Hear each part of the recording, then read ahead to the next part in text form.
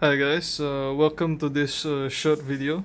So uh, if you play uh, Cyberpunk on uh, PC, there's this problem where if you play with a controller, there's no vibration. So uh, I found a temporary solution until CD Projekt Red fixes that.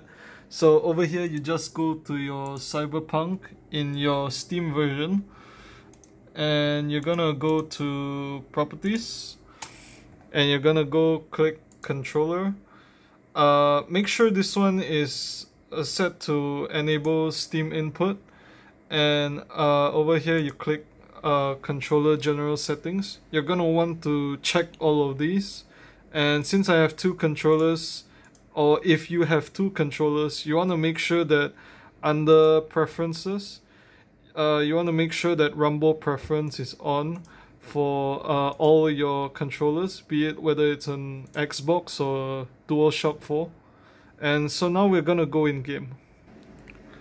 So now once we're in the game, you would want to uh, go to your uh, settings over here, and you wanna go to uh, you wanna go to controls, and you wanna set the vibration all the way to 100 if it's not at 100 yet so uh, just to show you guys it's actually vibrating right now.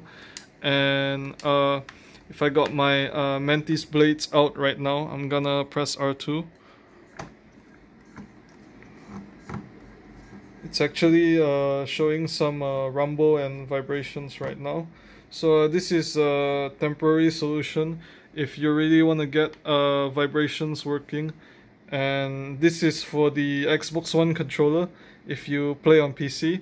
I'm not really sure if it works for the DualShock 4, but I'm really hoping it does. And yeah, this is the short video, a temporary solution until CD Projekt Red fixes this.